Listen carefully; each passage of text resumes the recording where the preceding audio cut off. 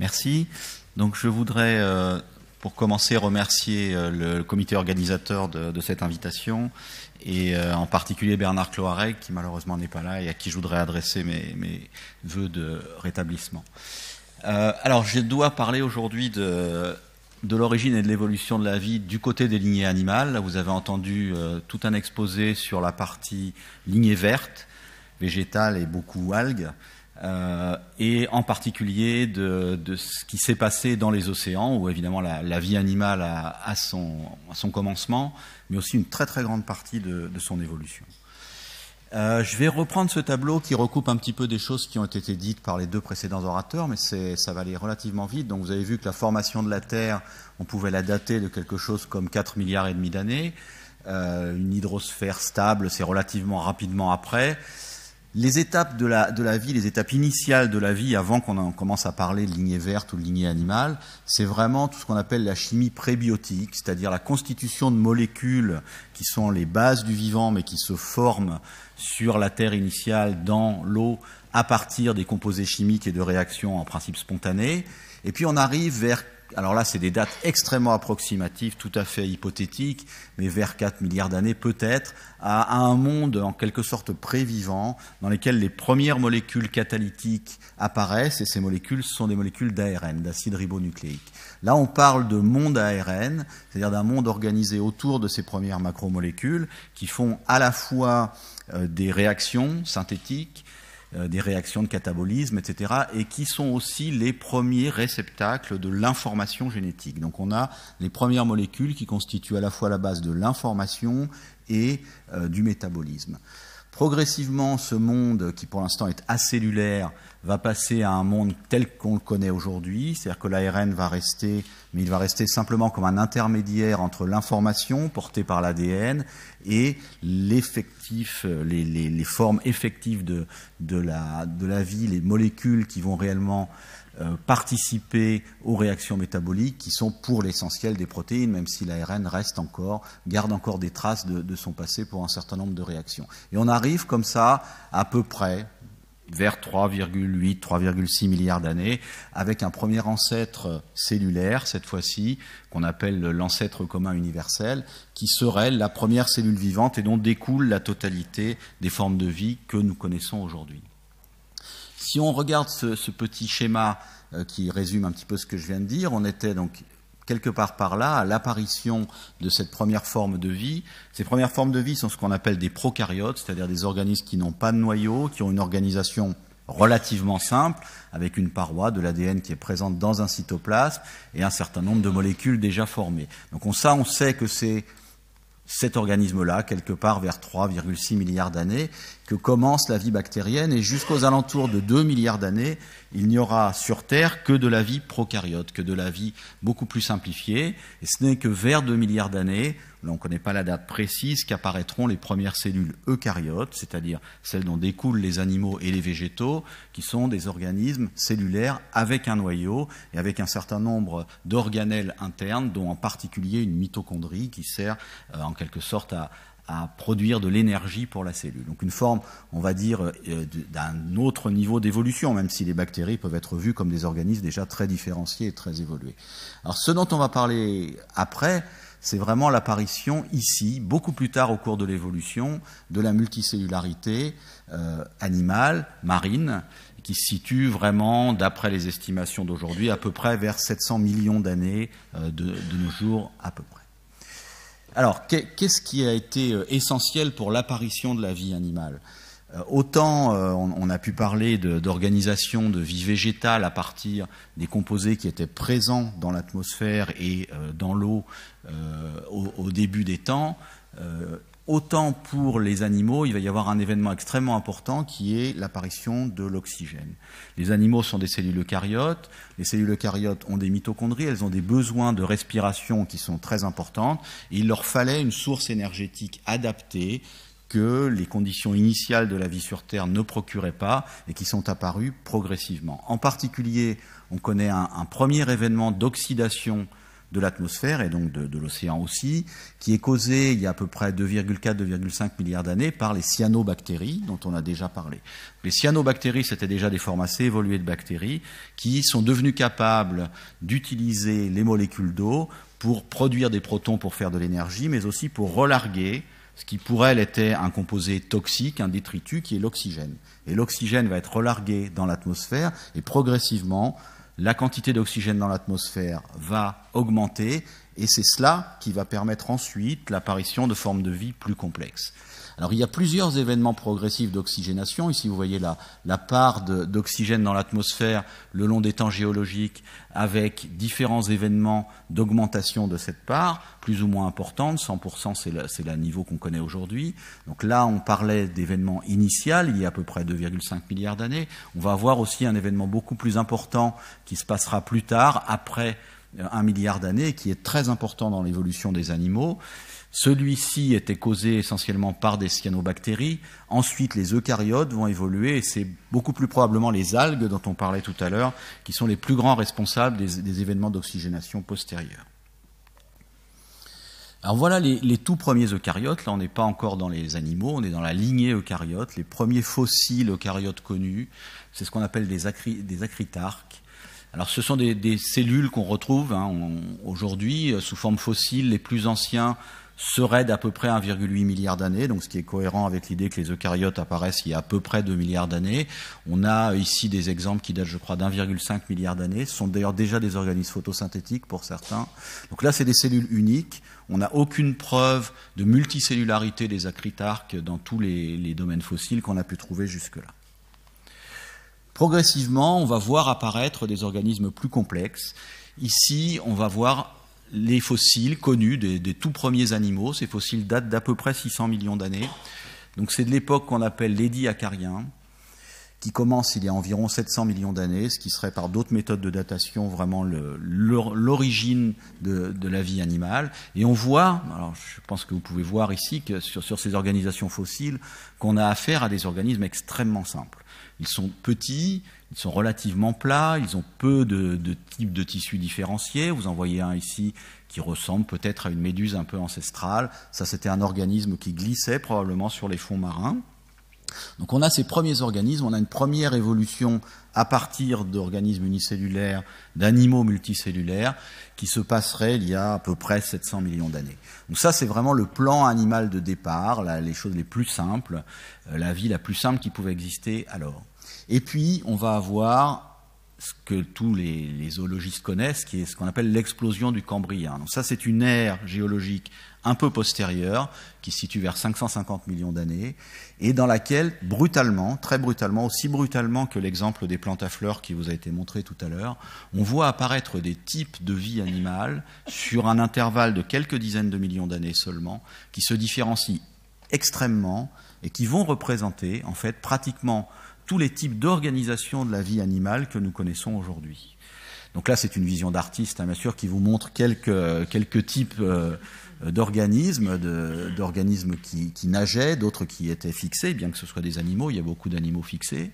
Donc là, on est dans cette époque-là et on voit qu'elle correspond tout à fait avec un événement majeur d'oxygénation. Donc ce qu'on pense aujourd'hui, c'est qu'en fait l'apparition d'une vie animale de plus en plus complexe est intimement liée à la capacité à disposer d'une atmosphère plus oxygénée qui permet en fait d'avoir une source énergétique plus importante et qui a permis la multicellularité.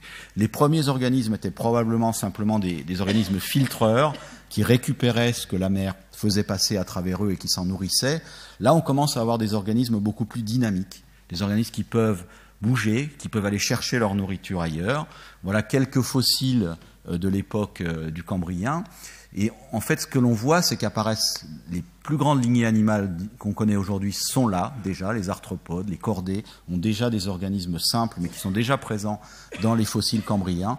Et on a aussi des comportements, comme le comportement prédateur, qui n'existait pas vraiment chez les animaux auparavant, et qui apparaît à cette époque-là. Donc on a une diversification extrêmement rapide. Là, tout se passe dans l'océan, bien avant que la vie animale n'aille sur Terre. Et cette vie diversifiée, elle est déjà présente il y a à peu près 550, 545 millions d'années.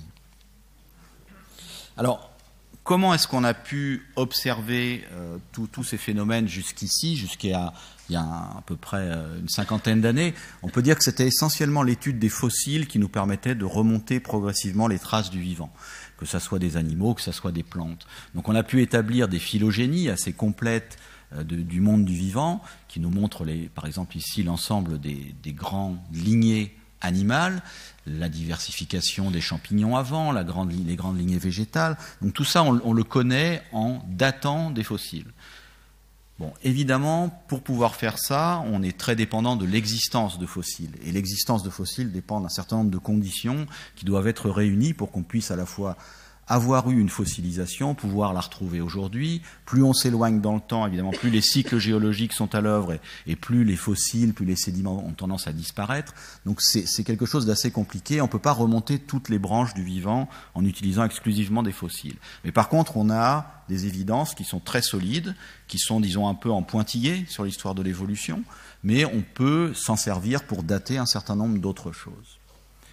Alors ce que l'on fait aujourd'hui pour essayer de mieux comprendre l'évolution de ces lignées, c'est plus seulement l'observation des fossiles, c'est ce qu'on appelle de la phylogénétique. Donc de la phylogénétique, ça utilise des molécules du vivant, des molécules informatives de l'ADN. On va avoir des séquences de gènes qui sont présents dans différents groupes existants aujourd'hui, évidemment. Là, il ne s'agit plus de fossiles, mais il s'agit d'interpréter le passé à la lumière de ce qui reste aujourd'hui de cette diversité. Et à partir de ces, comparaisons de séquences d'ADN, on peut essayer d'établir une phylogénie, c'est-à-dire de dire telle branche dérive de telle autre branche, mais aussi par des méthodes maintenant assez, pointues, on peut parvenir à faire des datations, hein, donc à se dire, voilà, le, telle lignée animale, on pense qu'elle est apparue à tant de millions d'années, etc. Donc si on compare pour les lignées animales la dotation qu'on peut obtenir aujourd'hui par phylogénétique avec ce qu'on obtient dans le monde fossile, on, voit que les temps sont un petit peu plus anciens, ce qui est logique. On pourrait se dire qu'on peut, on a forcément avoir eu apparition d'une lignée avant qu'on ait pu la retrouver dans, des fossiles. Et par exemple, pour les animaux euh, au moment de l'édiacariens, l'apparition des animaux serait datée par ces méthodes de 700 millions d'années à peu près, et les premiers fossiles sont plutôt de 600 millions environ. Alors, pour aller beaucoup plus loin maintenant euh, que la phylogénétique, on a on introduit une ère un petit peu différente, celle de la génomique, vous en avez entendu parler dans, l'exposé précédent.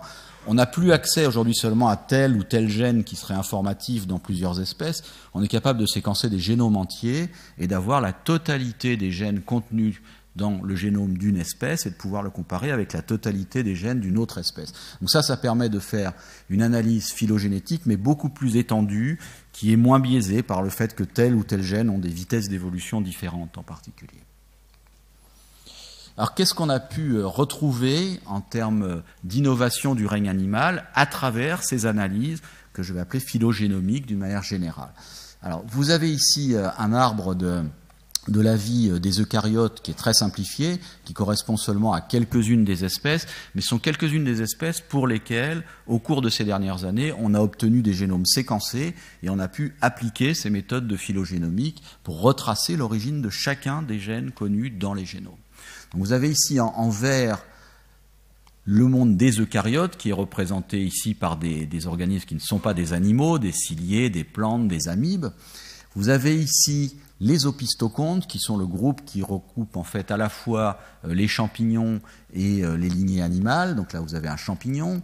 Vous avez en rouge ce qu'on appelle les holozoaires. Donc là, ce sont les coanoflagellés, c'est-à-dire les organismes unicellulaires, mais qui seraient en fait les, les plus anciens ancêtres, parmi les plus anciens ancêtres du, règne animal, et puis après tout ce qui est multicellulaire, de plus en plus évolué en partant des éponges, euh, des placozoaires, ici vous avez les cnidaires, donc euh, par exemple les méduses, et puis là les animaux plus classiques, euh, ici les deutérostomiens, vous avez là les, insectes, etc. Donc qu'est-ce que l'on peut voir quand on applique cette méthode pour chacun des gènes de chacun de ces génomes qui ont été séquencés? Et on peut trouver des, gènes qui étaient présents depuis le début, donc des gènes qui sont des innovations chez les eucaryotes et chez tous les eucaryotes. Des gènes qui sont des innovations chez les opistocontes, que partagent les champignons et les animaux, mais que ne partagent pas les autres règnes du vivant, et ainsi de suite. Et donc comme ça, on va pouvoir étudier quelques-unes des grandes transitions du règne animal, le passage de la monocellularité vers la multicellularité, le passage d'organismes extrêmement simples comme les éponges vers des organismes avec des tissus beaucoup plus différenciés. Si on regarde ce, genre de projection, là on a gardé les mêmes couleurs, c'est issu de la même publication. On, a par exemple pour euh, des complexes protéiques qui se situe à, deux niveaux. Ici, la communication entre deux cellules épithéliales. Ici, vous avez une synapse entre deux neurones. Vous avez ici des complexes protéiques. Chacun des, des, petits, des petites boîtes sont en fait des protéines différentes. Et vous avez leur origine qui est donnée par la couleur. Donc, vous avez des complexes ici qui originent, par exemple, chez les vertébrés ou les bilatériens. Et ces protéines-là ne sont jamais trouvées ailleurs. Donc, on peut dire qu'elles ont été une innovation de l'évolution à ce moment-là. Et vous avez des, choses qui sont beaucoup plus anciennes, euh, qui proviennent de l'origine même des, des, épistocontes ou des eucaryotes. Ce qui est intéressant, c'est de voir que certains complexes, ici ou par exemple ici, sont en fait constitués non pas uniquement de protéines qui sont apparues au moment où cette nouveauté euh, phénotypique s'est exprimé, mais qui sont apparus par agrégation d'un certain nombre de couches de protéines qui avaient des, apparitions au cours de l'évolution différentes et qui ont été petit à petit recrutées pour faire chez certains organismes des complexes particuliers qui servent à des fonctions particulières. Donc ça, c'est un mode euh, d'évolution des protéines qui est très typique, dans laquelle on a non pas une apparition d'un gène nouveau pour une fonction nouvelle, mais plutôt le recrutement d'un certain nombre de fonctions ancestrales, leur modification. on peut se demander comment des fonctions qui existaient déjà peuvent évoluer en partie vers des fonctions nouvelles, compléter des fonctions nouvelles pour donner quelque chose d'encore plus différent dans un organisme plus tard au cours de l'évolution. Alors le mécanisme central euh, chez les eucaryotes, et donc en particulier chez les animaux, c'est la duplication des gènes. C'est un mécanisme extrêmement particulier euh, qui fait qu'en fait, à partir d'une fonction, d'un gène ancien, on va en créer une deuxième copie tout en gardant la première et faire évoluer cette deuxième copie du gène vers une fonction un petit peu différente. Il y a, en fait trois modes principaux d'évolution des, gènes chez les organismes vivants il y a la duplication des gènes, il y a l'apparition de gènes nouveaux qui est très rare, qui se fait à des échelles très très lentes. Et puis il y a des transferts de gènes d'une espèce à une autre espèce. On en a parlé un petit peu tout à l'heure avec des cas d'algues brunes. Les transferts de gènes, c'est quelque chose qui a un impact très fort chez les cellules bactériennes, beaucoup moins fort chez les eucaryotes. Et en particulier chez les animaux, ça a un impact extrêmement faible. Donc chez les animaux, les mécanismes de duplication sont vraiment ce qui explique le mieux la force génétique, en quelque sorte, qui a permis d'exprimer des phénotypes nouveaux. Ici, vous avez un exemple, celui d'un cluster, d'un groupe de gènes qui s'appelle OX, qui sont des gènes qui sont impliqués dans le développement chez les animaux. Ces gènes, ici, vous en avez différentes couleurs, ils forment tout un, groupe de gènes dont l'expression euh, a une certaine importance au cours du développement. Vous voyez que, par exemple, chez les mouches, il y a un groupe de gènes de ce type qui est localisé à un endroit dans le génome et qui est donc le produit d'un certain nombre de duplications qui sont arrivées au cours du développement. Et chez des organismes plus euh, évolués, comme par exemple ici vous avez l'amphioxus qui est un des tout premiers cordés, vous avez toujours ce, ce groupe de gènes, puis bizarrement, chez des animaux plus complexes, comme chez la souris, et c'est exactement la même chose chez l'être humain, non seulement on garde ces duplications à un endroit, mais on les retrouve à plusieurs endroits. Donc là, non seulement on a eu la duplication d'un gène particulier pour évoluer vers un certain nombre de fonctions un peu différentes, mais on a aussi des groupes de gènes entiers qui se retrouvent à des endroits différents et qui ont été gardés par l'évolution. Donc on voit bien que si on avait ici des gènes qui ont une importance dans le plan de développement d'un organisme et qu'à un autre moment on va trouver plusieurs de ces groupes de gènes, cela peut permettre une, une façon différente d'aborder le développement, puisque c'est le, rôle de, ces gènes en particulier, mais ça peut être pour d'autres fonctions, de pouvoir, en multipliant les différents groupes de gènes, avoir des plans de développement plus complexes qui peuvent éventuellement se mettre en place. Dans une espèce ancestrale, ici j'ai représenté un gène qui est une boîte le, le long de l'ADN. Donc, dans une espèce ancestrale, vous avez un gène, et normalement, ce qui se passe au cours de la spéciation, les espèces vont se différencier, vous gardez la copie de ce gène. Quand vous avez une duplication, la même espèce va avoir deux copies de ce gène, ce que je disais tout à l'heure. Donc, au lieu d'avoir ce qu'on appelle dans notre jargon des orthologues et ici des paralogues, on va avoir vraiment ces deux gènes qui sont désormais présents, qui peuvent partager des fonctions, qui peuvent évoluer dans des directions différentes. Et ça, c'est vraiment extrêmement important. Les orthologues, c'est de la conservation de fonctions, tandis que les paralogues, c'est l'apparition de potentialités différentes. On peut faire évoluer ces deux gènes, par exemple, en leur donnant des régulations différentes. L'une va être adaptée pour s'exprimer dans un certain environnement, l'autre dans un autre environnement. Mais on peut aussi imaginer que ces protéines acquièrent des potentialités fonctionnelles différentes, c'est-à-dire qu'à force de mutation, notre gène B' ici ne fasse plus tout à fait la même chose que le gène B dont il est originaire. Et on a à ce moment-là apparition d'une fonction qui n'est pas présente dans l'espèce numéro 1 sur ce schéma. Alors comment on passe de ce schéma de, duplication des gènes au schéma que j'ai montré tout à l'heure, où en fait des groupes de gènes entiers sont dupliqués et permettent une évolution tout à fait euh, à une échelle tout à fait différente. le mécanisme central chez les eucaryotes, dont on commence vraiment à prendre conscience de, de l'importance, c'est la duplication totale, la duplication du génome. Donc nous, par exemple, êtres humains, nous avons un génome. En fait, nous avons deux copies de ce génome. Hein. ces deux copies proviennent des, des parents, mais c'est la même chose, c'est le même génome, et nous sommes des organismes diploïdes qui avons deux copies de ce génome. Quand il y a une duplication, en fait, ce génome provient de deux organismes qui, au lieu d'avoir transmis une copie, en transmettent deux, par exemple. Donc on se retrouve avec deux fois le génome, deux fois les gènes, et on va transmettre ça à sa descendance. C'est ça, une duplication totale de génome. Donc ça veut dire qu'on passerait d'un génome à, mettons, 20 000 gènes, c'est à peu près ce que, nous avons nous dans l'espèce humaine, à un génome à 40 000 gènes.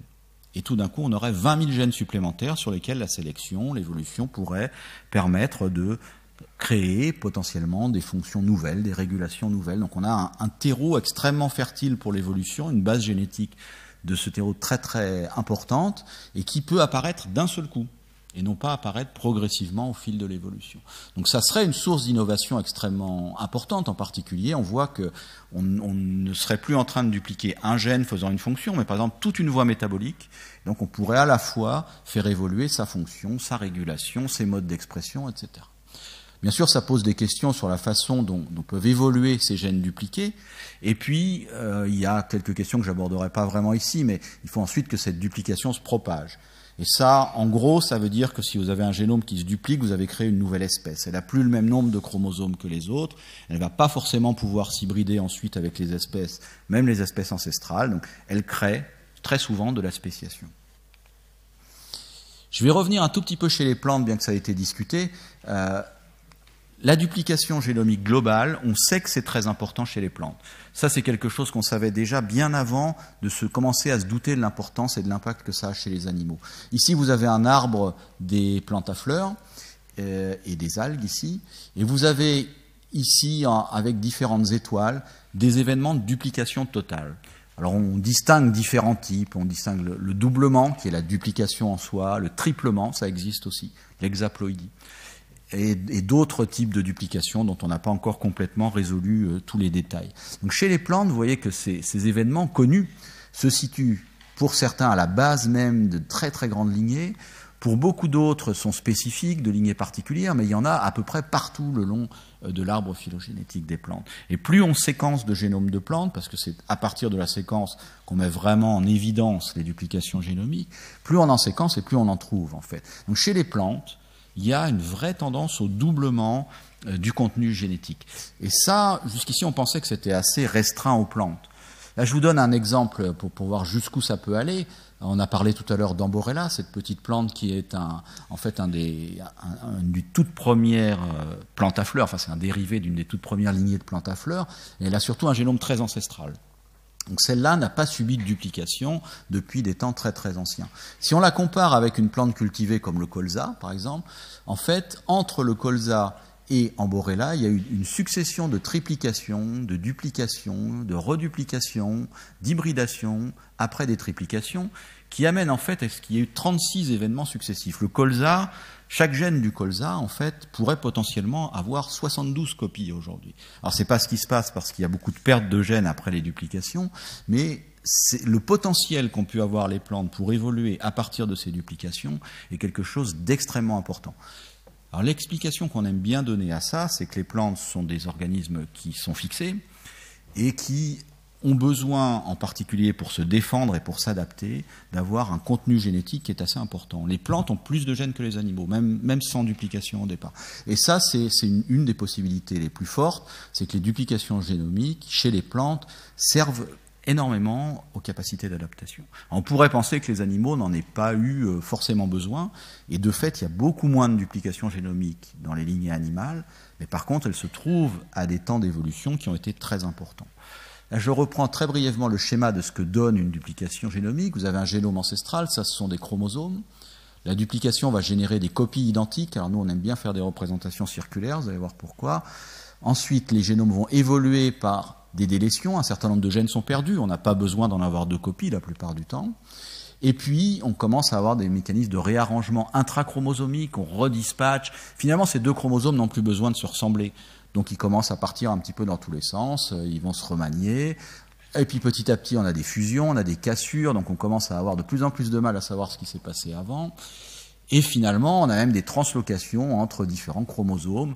Donc on a aujourd'hui des chromosomes pour les espèces qui étaient autrefois dupliquées, qui en fait contiennent des morceaux de différents chromosomes. Donc il y a tout un travail pour essayer de, comprendre comment reconstituer les génomes ancestraux à partir de, ces génomes-là. Ça, ça se fait bien sûr sur des temps relativement longs. C'est des millions d'années pendant lesquelles les gènes se perdent, euh, les chromosomes se réarrangent, etc. Alors pourquoi est-ce que certains groupes en fait, vont avoir des duplications génomiques et, comment est-ce que ça, se manifeste euh, au niveau de la diversité de ces groupes? En particulier, on sait que les poissons téléostéens ont une duplication génomique totale. C'est un des rares groupes animaux dans lesquels on sait qu'il y a eu à la base de l'événement de radiation de ces poissons une duplication génomique totale et puis tous les phénomènes de réarrangement que j'ai montrés après. Et on sait aussi que ces, poissons sont d'une très grande diversité phénotypique. Donc il y a eu un certain nombre d'analyses qui ont montré que toute la diversité qu'on observe dans le monde des poissons une partie de cette diversité est due au fait que toutes ces lignées de poissons disposaient en fait de deux génomes et ont choisi tantôt l'un, tantôt l'autre pour exprimer tel ou tel gène. On peut utiliser ces deux génomes pour se diversifier et pour créer aussi de très très nombreuses espèces différentes. Une des raisons pour lesquelles il y a beaucoup d'espèces différentes, c'est parce que ces espèces peuvent se séparer aussi. Dès que vous avez une duplication, dès que vous avez tous ces réarrangements chromosomiques, très rapidement, en fait, vous pouvez avoir des espèces qui n'ont pas le même réarrangement, qui n'ont pas perdu les mêmes gènes et qui ne deviennent plus compatibles. Et ça, ça peut aller très vite. Et ces espèces-là deviennent assez rapidement des espèces différentes, même si elles avaient au départ le même contenu génétique. Voilà, donc voilà ici sur euh, l'embranchement des, vertébrés où on place les duplications génomiques totales principales. Il y en a deux à la base, et c'est celles-là sans doute qui sont les plus importantes. C'est celles qui expliquent le fait qu'il y ait en particulier les, quatre grands groupes de gènes de développement que je vous avais montrés au départ chez la souris. Et puis il y a cette duplication chez les poissons téléostéens qui explique beaucoup de choses euh, au niveau de la diversité, de la spéciation de, ce groupe particulier. Alors toute la base de, de l'arbre euh, des, animaux évidemment et marins, bien sûr. Hein. Ici, vous avez la, branche euh, aujourd'hui connue euh, comme étant une des plus anciennes pour les vertébrés, donc avec, avec les raies, etc. Et puis, vous avez le groupe des poissons qui est ici. Alors, en résumé, quels sont les rôles connus de ces duplications génomiques dans l'évolution des animaux marins? Donc l'apparition de la nouveauté, génique ou régulatrice, modification des plans de développement, et puis spéciation par isolement reproductif après des pertes de gènes différentiels ou des remaniements. Je vais, terminer par un, exemple d'organisme marin, d'animal marin très particulier, pour vous montrer comment la, vie peut avoir évolué d'une façon très très différente euh, euh, sur certains organismes particuliers.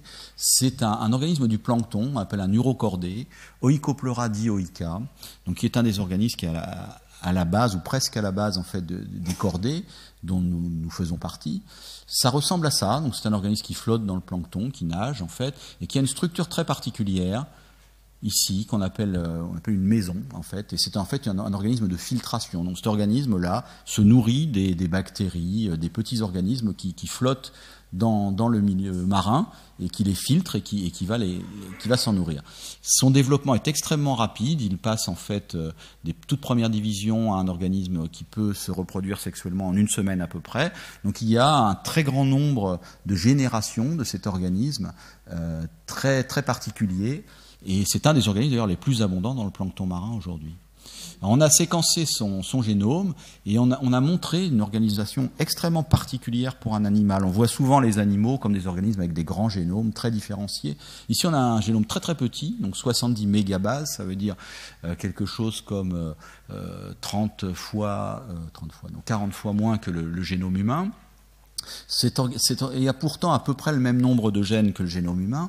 Et quand on compare l'organisation de ces gènes le long des chromosomes avec les groupes conservés, donc les chromosomes qui sont présents chez les cordés, dans des organismes même très éloignés, comme l'amphioxus, comme d'autres tuniciers, on voit des groupes de, conservation qui sont représentés ici par des groupes de points. Oikoplora n'a plus rien de tout ça, c'est-à-dire qu'il a perdu toute forme de synthénie avec tout, il a réarrangé son génome un nombre énorme de fois, et il a en plus considérablement réduit tous les, compartiments de son génome, les compartiments intergéniques, mais aussi les gènes eux-mêmes qui sont beaucoup plus petits. Vous avez ici deux courbes, une courbe en noir qui montre en fait la taille cumulée des gènes chez l'homme. Vous voyez que la taille part de, de taille très petite jusqu'à plusieurs centaines de kilobases. Ici, vous avez la taille en rouge des gènes chez Oikopleura, où presque la totalité se trouve dans une catégorie de gènes extrêmement petite, qui fait à peine quelques kilobases. Vous avez ici une représentation d'une région génomique de. En fait, pratiquement tout est codant chez Oikopleura, donc c'est très sympathique pour les gens qui font de, la séquence et qui aiment l'interpréter assez rapidement. Voilà. Alors, j'ai terminé avec les quelques exemples que je voulais montrer. Je vais conclure sur euh, un, tout petit exemple final euh, pour euh, faire le lien avec ce qui a été dit précédemment. Donc, qu'est-ce qu'on peut imaginer comme effet sur la vie animale dans les océans, des, grands changements qui sont en cours aujourd'hui? On a déjà bien sûr connu un, certain nombre de choses qui sont particulièrement étudiées, comme les effets de la pollution, de la surpêche évidemment, de l'urbanisation. Aujourd'hui, on, voit s'ajouter les effets directs du changement climatique, dont on a parlé tout à l'heure, l'élévation de la température, la baisse du pH, le progrès aussi des zones anoxiques hein, dans, l'océan. Si j'ai bien compris, l'élévation de la température diminue la concentration en, oxygène. Donc on a, on a des effets qui commencent à devenir importants, qui sont perceptibles sur les algues, sur un certain nombre d'organismes, et en particulier euh, sur les animaux. J'ai juste pris un exemple de la littérature pour vous montrer comment on, on est en train de projeter ces changements, essayer de comprendre au mieux qu'est-ce qu'ils vont impacter. Là, c'est extrait d'une publication qui montrait, à partir d'un modèle, bien sûr, les changements projetés, la capacité de survie des écosystèmes des récifs coralliens entre les années 90 et, les années 2070. Vous avez ici un facteur de changement qui est représenté. Dans les scénarios classiques euh, de réchauffement d'aujourd'hui. Vous voyez que si vous allez vers des couleurs bleues, vous avez une atténuation de ce changement. Donc vous avez des conditions qui vont avoir tendance à, rester celles qu'on connaît aujourd'hui. Et quand vous allez vers le rouge, plus c'est rouge et plus les conditions sont supposées affecter ce que l'on sait de la vie corallienne euh, dans, le futur. Et ce qui est un peu malheureux, c'est que les, zones rouges se concentrent ici. pour ceux qui le savent, là, c'est la grande zone de biodiversité des récifs coralliens euh, qui se situe dans, cette partie du bassin Indo-Pacifique. Et en fait, on, voit très typiquement que ce qui nous attend, c'est-à-dire que les, zones les plus affectées, pour ce cas particulier, sont aussi les zones de plus grande biodiversité, celles pour laquelle elle va être le plus soumise à, des difficultés croissantes euh, au fur et à mesure que les, années vont passer. Voilà, j'ai terminé. Je voulais remercier euh, Jean Weissenbach, donc le, directeur. Euh, à qui j'ai succédé à, la tête du génoscope, les personnes qui ont le plus participé aux différents travaux, Olivier Jaillon et Hugues Rostrolius pour les duplications chez les poissons, France Deneux et Daniel Chourout sur le génome du Tunisier, Oiko Pleura, Boulos Chalou pour le colza, et tout le consortium Tara Océan euh, pour de très nombreuses discussions. Je vous remercie.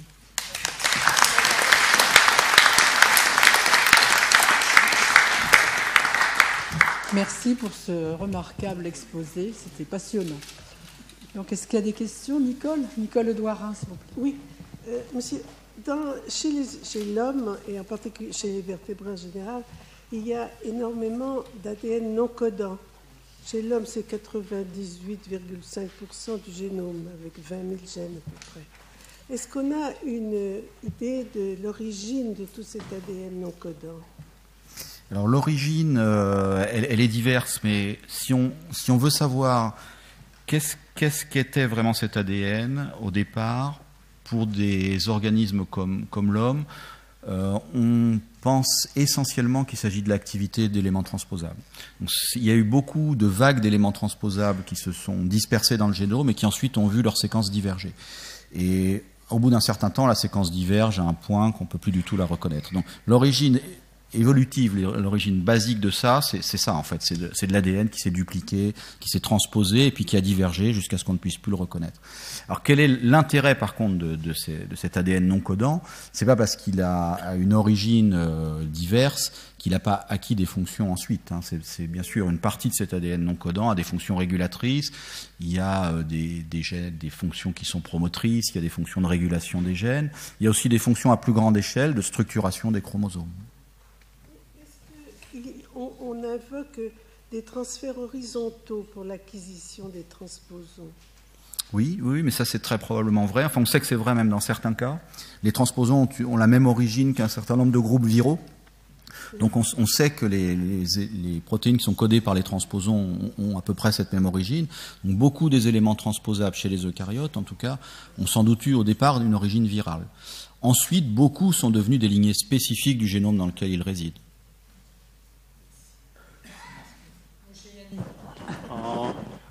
On, a, on avait il y a quelques mois un colloque à l'Institut Pasteur aux mémoires de François Jacob et surtout inspiré par son bouquin et ses articles sur bricolage et évolution.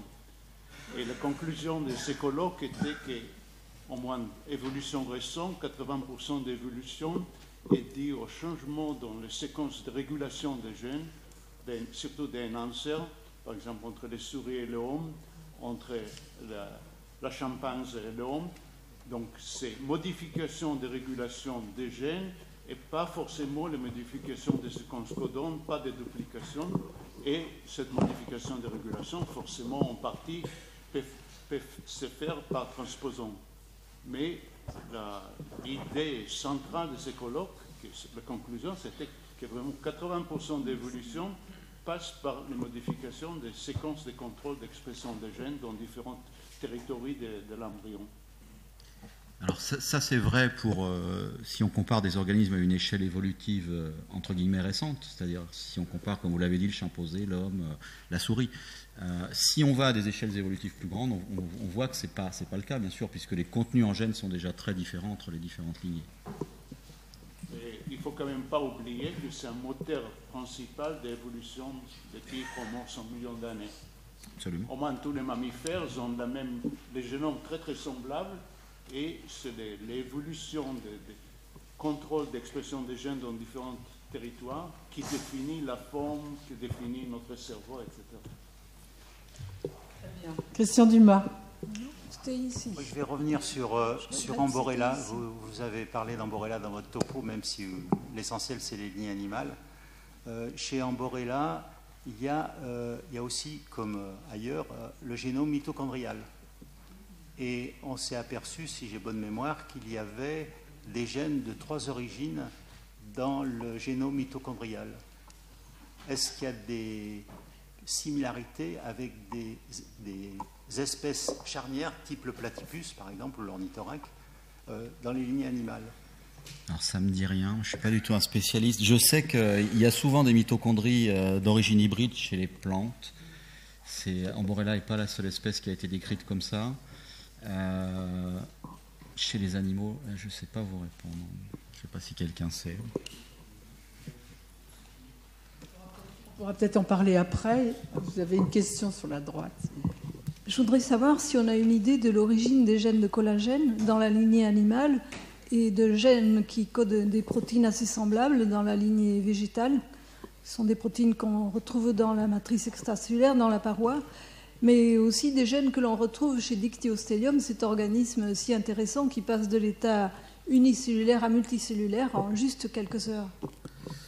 Ouais, alors en fait, il n'y a pas une origine de la multicellularité, il y en a plusieurs. Hein. Chez les animaux, il y en a une.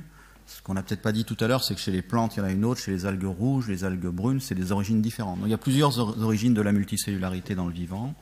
Euh, est-ce que le collagène est une protéine ancestrale qui ensuite a été redirigée? Ça, je ne sais pas. C'est une protéine très simple, le collagène aussi. Euh, je ne suis pas sûr qu'elle ait la même origine dans, tous ces organismes-là. Si on la retrouve participante évidemment à la matrice extracellulaire, je ne sais pas.